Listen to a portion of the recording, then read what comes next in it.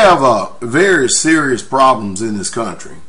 Um, I mean, problems that a lot of people do not understand because our society and our country um, and the educational system is always geared towards trying to solve spiritual problems with natural means. And as long as we continue to avoid the spiritual implications or the spiritual sides of things, um, we're not going to have any solutions for the problems that we're facing.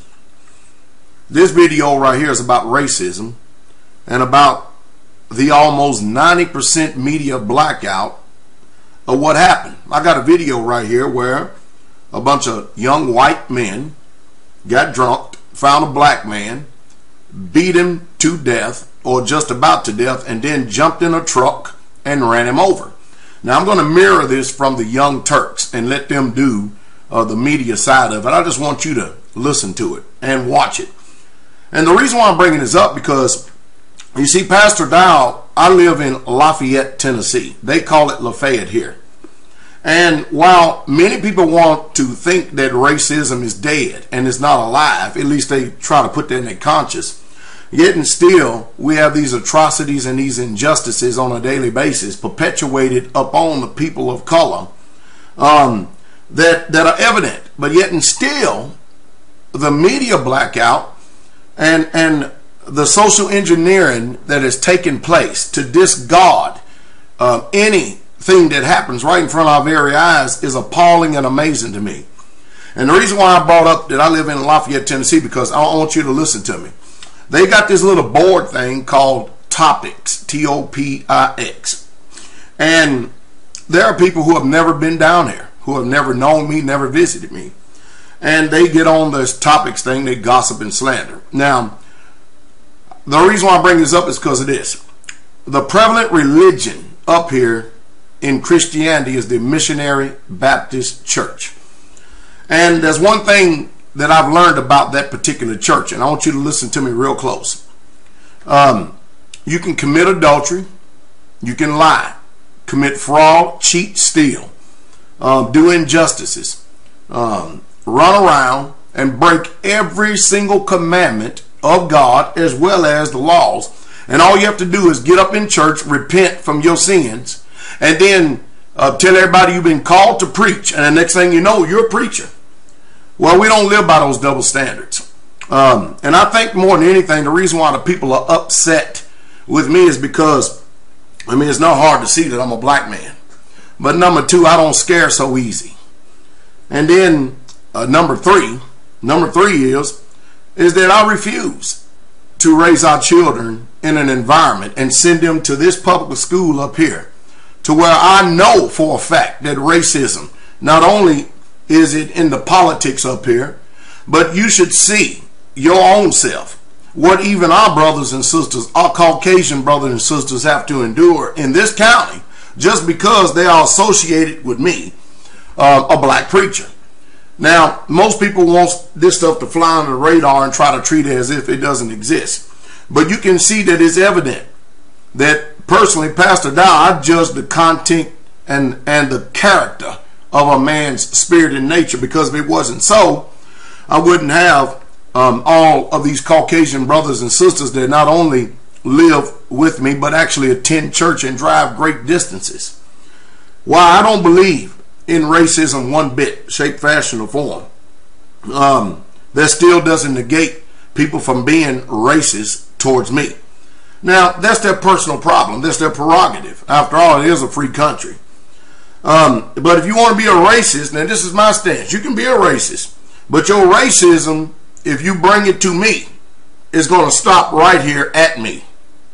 Uh, meaning that once it comes into my environment, then I'm charged to handle it according to as I see fit. Now, as long as people out there lying, slandering, gossiping, and and uh, it's amazing because you see, I, I believe in keeping the commandments. You can't be what you call a member here at Straitway or even attend this church if you're going to live in adultery, if you're going to live in fornication, if you're going to um, live an immoral life and break the commandments. There's no way I won't allow it. There's no way. we homeschool our children and we pay a lot of money to do it because we want our children to grow up um, and they're very well mature. My son graduated high school at 16 years old. My little girl graduated 16 years old. Um, she's in her fifth year seeking some higher degree right now at Western Kentucky University and she's 21 years old.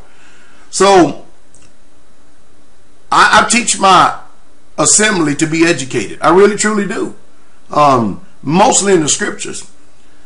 But racism is alive and well and does exist. And this county that I live in lets me know um, every single day how much they reject the color of my skin rather than the character of a man that I am. And the reason why I'm hated is not because I break commandments or I live in sin or I do anything wrong to these people. The reason why I'm hated is because I'm black. It's just a fact and it's the truth. Um, but I thank the Most High because the majority of the people who listen to me are, are well past the immaturity of um, trying to judge me based on the color of my skin. But I tell you what, it still doesn't stop it. This is a very disturbing story and account that's coming up. Um, it's it, it, it's heart wrenching again, and the reason why I bring these things up to you because I don't want you to ignore the underlining spirit that's flying under the radar and what's going on. I said it once, I said it a thousand times. The enemy of our soul, the devil, has a people that is subject to him to do his will. And the people who are racist and the people who promote racism and the people who actually perpetuate these injustices, whether it makes no difference. You're not to do evil towards another person. See, I'm an Israelite, and so it's my job to teach the people the laws, the statutes, and the commandments to all the nations, to those who have the ears to hear. And the ones who don't have the ears to hear is none of my business. Go ahead on. Um, but it's our job to get that get get them out there. Um, it's pretty sad. It's heart wrenching, and and what's even more sadder is the total media blackout. Why come this is not on Fox News? This just happened a few days ago. I think they said that CNN gave a little small block, but after that they're done with it. Why is it that it's not in the mainstream news media? I mean, they have some valid points here. I bring this up um, because I want you to be educated. I want you to start using independent thinking. Use some self-autonomy so that you won't be deceived by people's words. Pay attention. Um, this county hates me because we live holy here at Straitway. And I could care less what people say. Now, I guess that's one of the big things is they know that they don't, whatever they say, it don't have no effect on me whatsoever at all, period. Um, now, while they don't believe in the death penalty, I personally believe, according to the scriptures, that as these young men have done, so shall it be done to them. Because when Jesus the Christ, Yahshua HaMashiach, come back, he's going to commit what you people call um, a genocide. And this genocide is going to be on all nations. And the Christ, he is going to kill a lot of people. A lot of people. And the blood is going to flow up to the horse's bridle. He's going to take vengeance and these are the days of vengeance that we're living in, whether people understand it or not. So don't try to make all the preachers and teachers Jesus because they ain't. I'm a pastor. And I'm more or less function after the office of a pastor and the apostles and the prophets. And that's for sure. And that's the reason why people can't understand the faith of the Israelites. But this is very disturbing. Um, and you're going to be disturbed. And this is going to create a lot of dialogue. You're going to find out even more so who racist or who are or who is racist um, by watching this video. But I'm appalled. See, I understand that America is a racist country. I know that. And because I know that, I know how to move and I know how to function and I know how to conduct and I know how to deal with people. Watch this.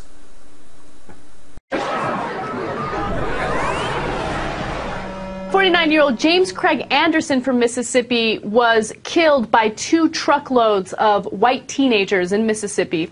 Um, the it's a horrible situation. CNN did a report on this. In fact, Anderson Cooper talked about it on his show. We have a little bit of the video for you guys later. But essentially, what happened was uh, these teenagers were at a party. They were getting drunk.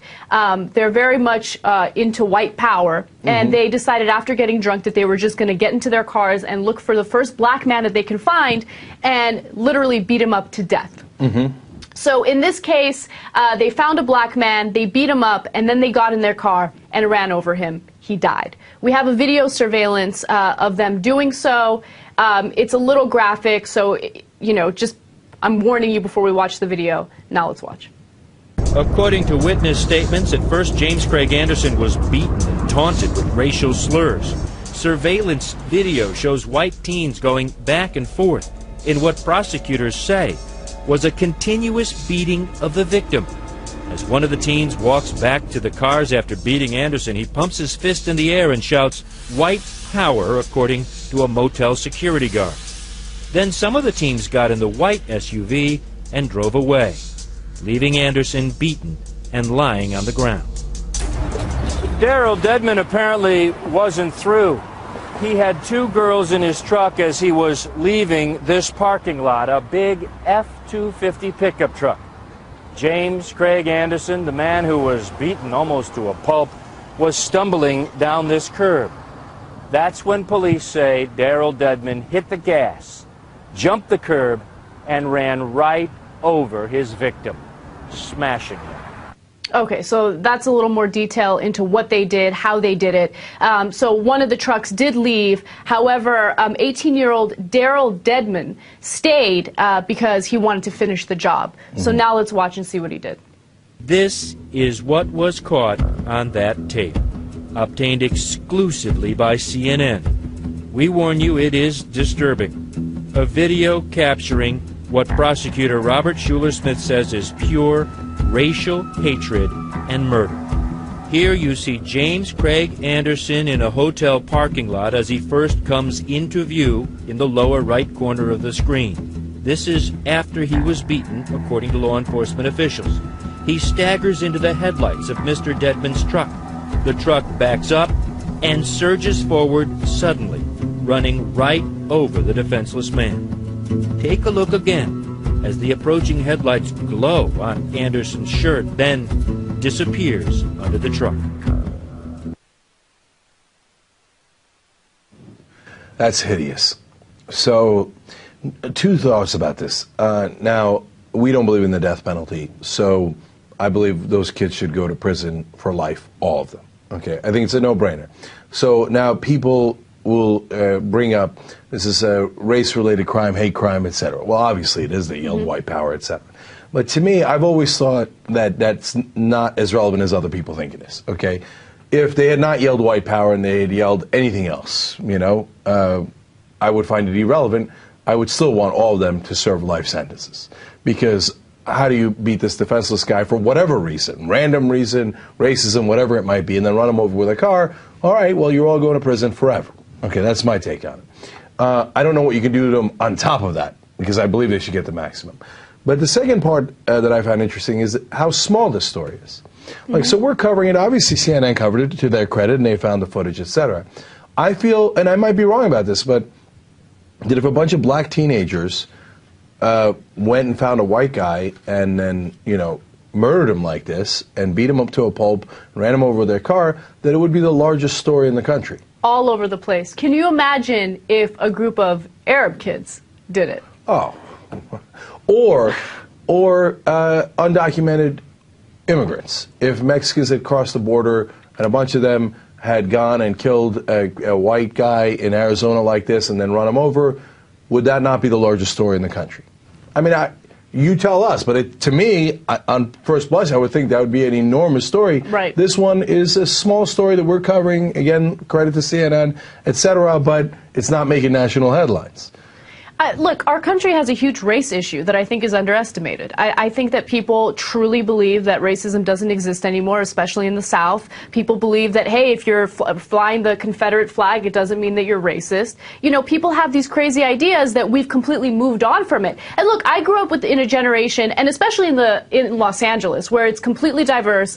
I haven't had to deal with any type of um, racism. I haven't seen racism personally, but I, I wouldn't deny the fact that we still have have a huge race problem. And I think the, the fact that we're kind of turning our backs to it and pretending like it doesn't exist, that's the most negative part about it because we can't fix it if we don't acknowledge it.